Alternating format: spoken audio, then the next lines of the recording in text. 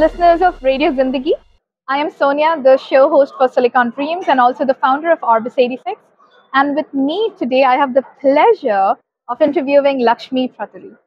Lakshmi is a name that honestly doesn't need a lot of introduction. She is the founder of InkTalks in India. And the work that she has done over the past couple of decades is nothing short of amazing. Lakshmi, great reverence to you because we are from India. And in India, especially when your journey started, at that time, women were still in a place where they didn't have a lot of power. Right. And you tried to bring power to not just the disenfranchised women in the society, but you gave everyone a power to speak. Mhm. So I would love to ask you, how did this journey for InkTalks start?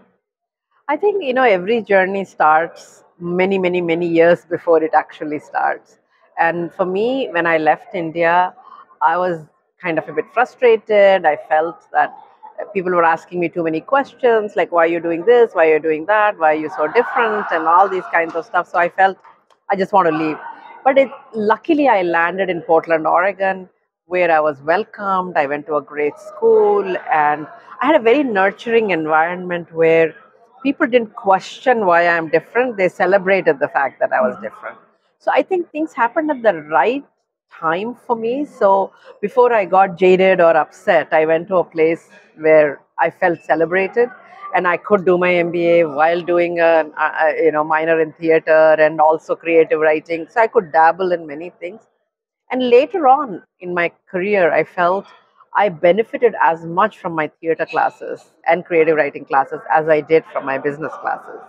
So I felt that it's extremely important to have people be exposed to a interdisciplinary approach. Mm-hmm. So innovation really happens when you have access to interdisciplinary people and you have the ability to take the risk to fail. And also you have a tribe of very complementary skill sets that can support you. It doesn't happen on its own. So i became very obsessed with how do we create a platform for innovation where things can happen automatically without me connecting them to people or anything of that sort? Because i've been like a lifelong collector and connector. I love collecting people. I love connecting them to each other. But that's my effectiveness is only as long as my ability and my time. But i felt that if we could inspire many others to connect with each other a lot of things could happen. So that was a genesis of ink in ink stands for innovation and knowledge. But really it's about inking our future together. How do mm-hmm. we all write our future together? Instead of being passive recipients of the life how can we how can we be active designers of our future? So that sort of was the beginning of ink. Lakshmi, you have so nicely articulated whatever I wanted to ask you. I mean, you know, it's it's it was just amazing. Nothing short of amazing. I'm actually short of words. But here's the thing. I think you focused very well on the the opportunities that people could get. And as you said, you were thankfully in a good place where before you lost all hope, you found a tribe that celebrates correct you. yeah Right. And as humans, if we were all the same, it would be so boring. exactly There are unfortunately a lot of disenfranchised communities and demographics hmm that do not get access to opportunities. And hmm sometimes they don't even know what is the path to get to these opportunities. hmm So, innovation and knowledge, right? Mhm. As a platform, how does it help people? hmm A, create a bridge to these opportunities, and B, discover their tribe.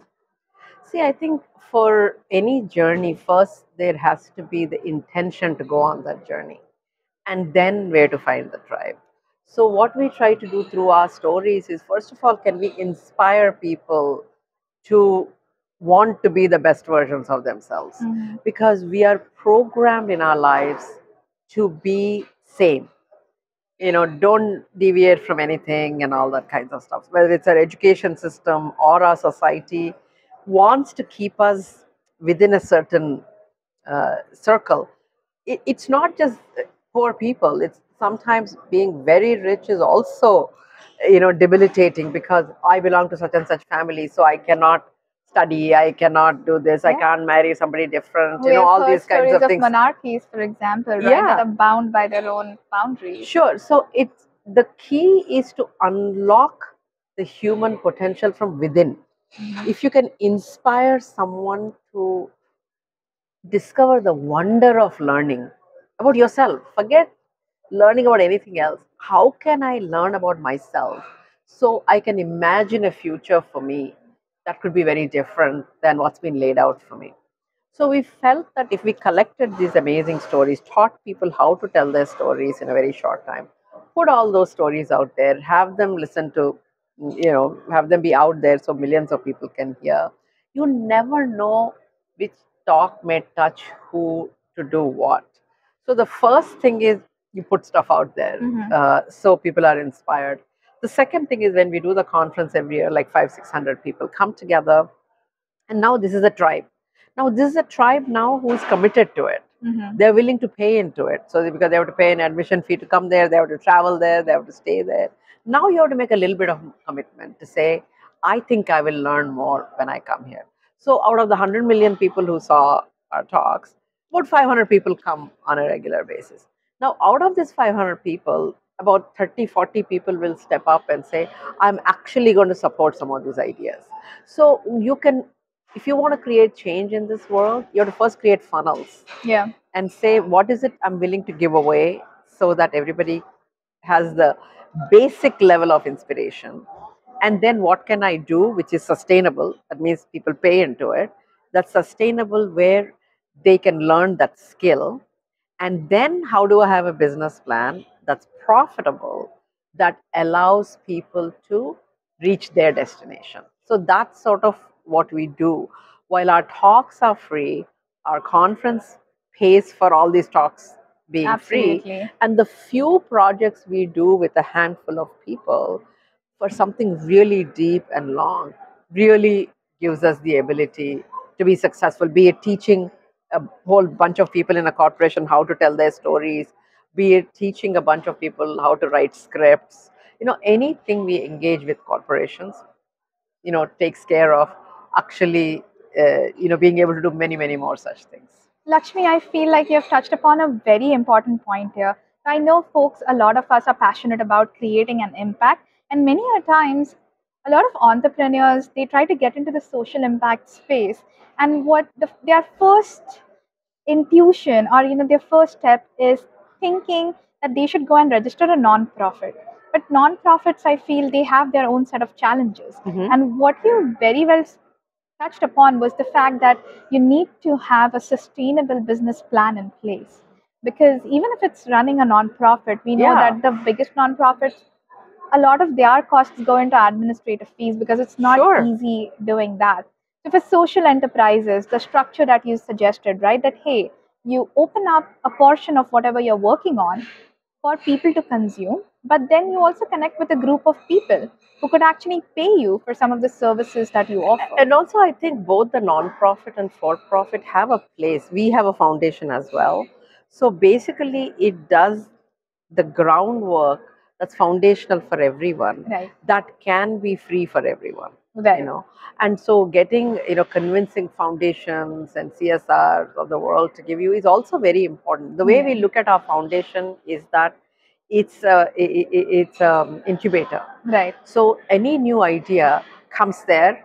First, you have to convince a bunch of people to give that money and make it a success. So it becomes self-sustaining. right And then you say, ah, now it's time to spin it out. Now you have to go find your customers and all that kind of stuff.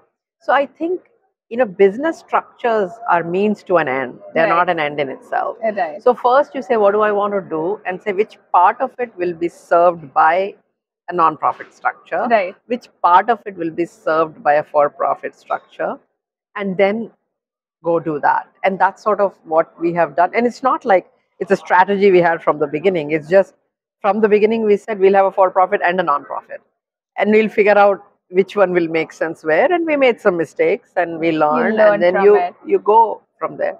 But to having that idea from the beginning that whatever we do must have a for profit and a non-profit aspect to see what's valid you know in a in a very unscripted way served us better we didn't have it that way so i mean having a 10 year old non-profit activity today helps us to get Yes. grants even when we do new programs unlike just incorporating it now after 10 years Lakshmi, now you have been on both sides of the world, right? You do a lot of work in India as well, and you are exposed to the various, like not just Pacific Northwest, but also the Bay Area, right? Yeah. We are coming live here from PyCon 2023 at the Santa Clara Convention Center from the Bay Area.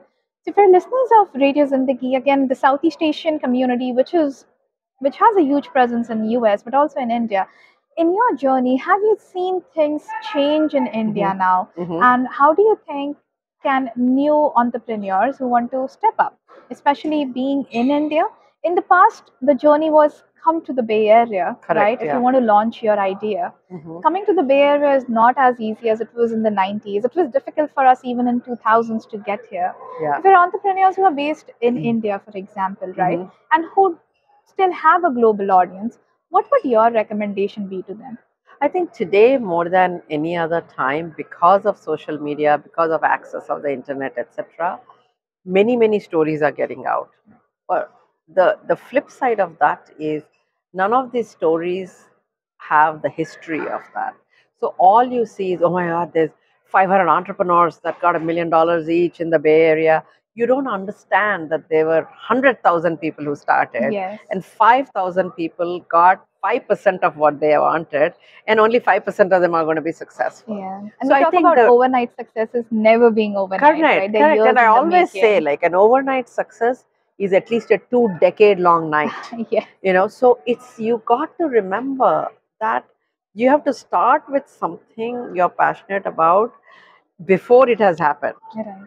you know and i mean you can jump on the bandwagon when it has happened also but that's a very different journey if you want to make a difference if you want to make an impact you have to have the stomach to stay with it a long time Mhm. and it's not all rosy i mean we've been through times where we didn't know how the next paycheck is going to come from. And even now sitting here i can't say for the next five years we can run it with no problem. Because we just don't know. Uh, you know we are expecting a lot of businesses to come whether it comes or not you don't know. So i think it's extremely important to plan things for what you can be committed to and be committed to it at least for a decade. Right. because otherwise things won't st- uh, uh, stick.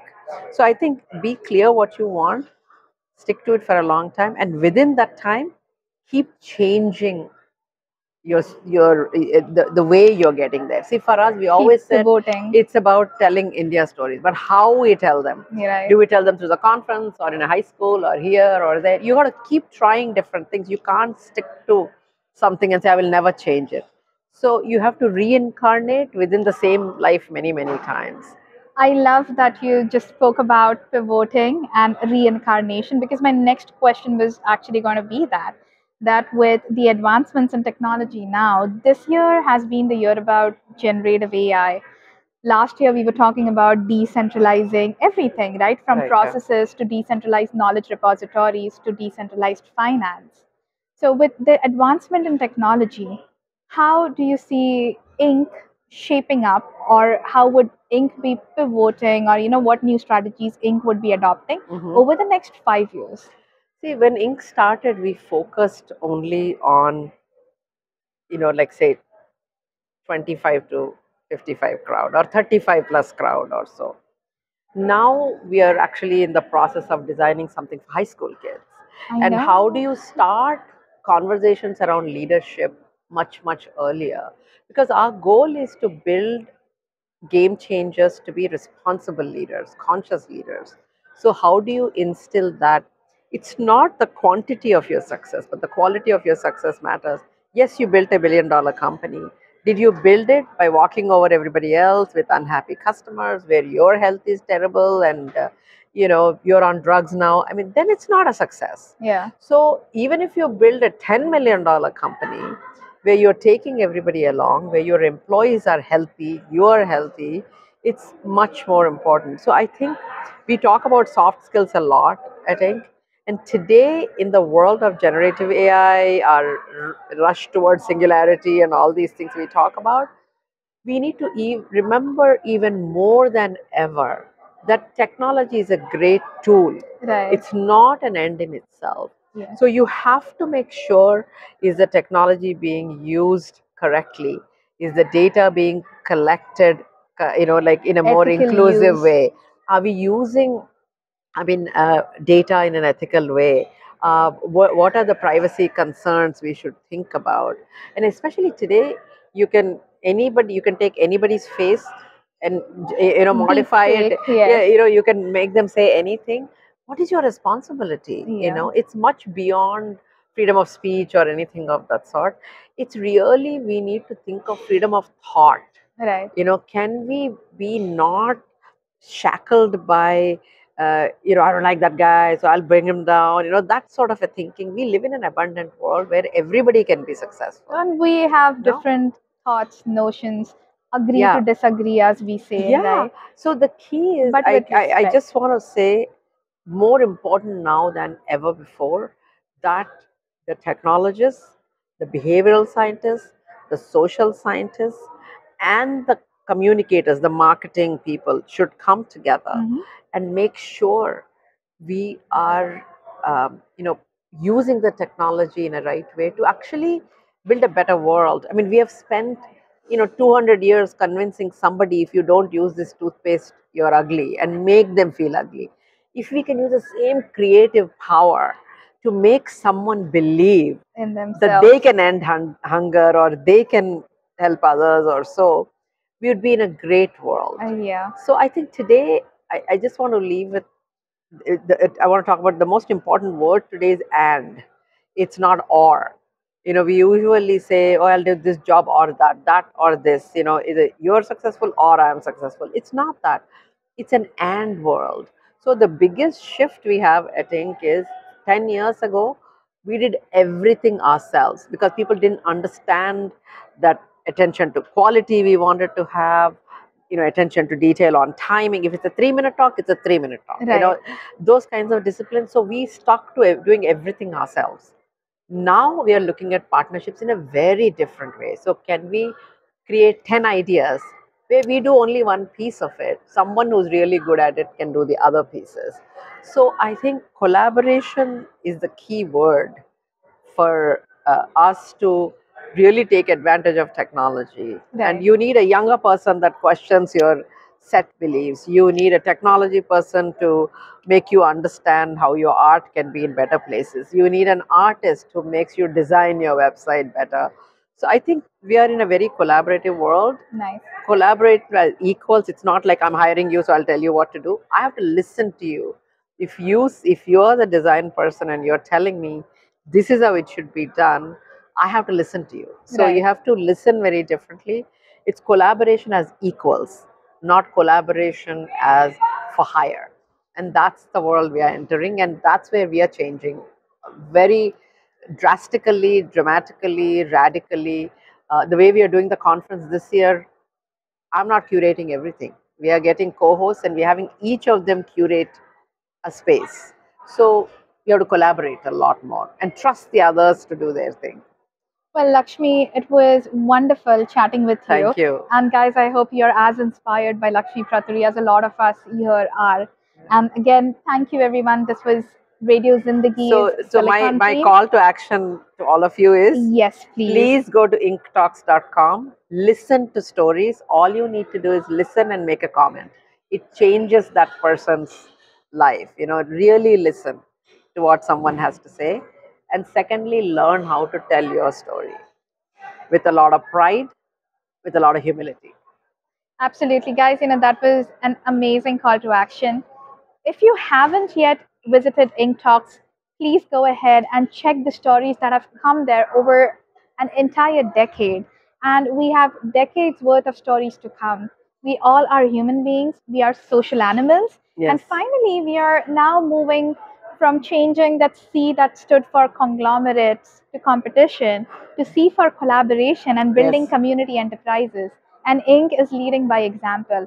So please go ahead and check that out. And Lakshmi, thank you again Thank you. For being a part of Radio Zindagi and the Silicon Dream. Thank you very much.